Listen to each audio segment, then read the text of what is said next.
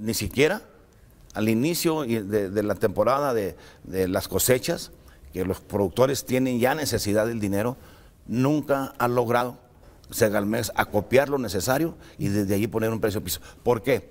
A ver, primeramente, no están la, yo creo y, pienso que sí hay colusión con todos los, los, los coyotes. ¿Por qué, si está un precio mucho mejor, por qué el- los productores venden más barato?